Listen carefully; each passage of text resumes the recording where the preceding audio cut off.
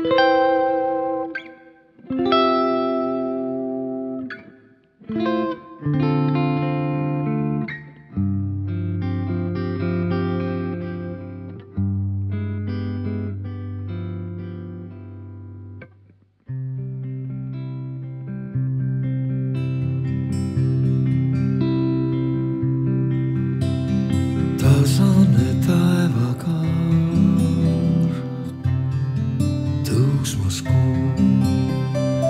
tõusmas kuu, uinumas udusaar.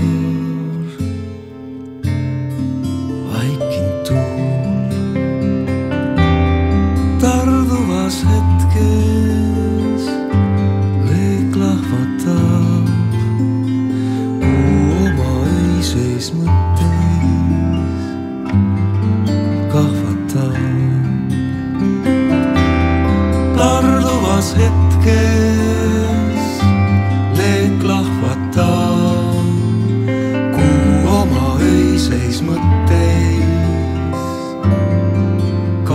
当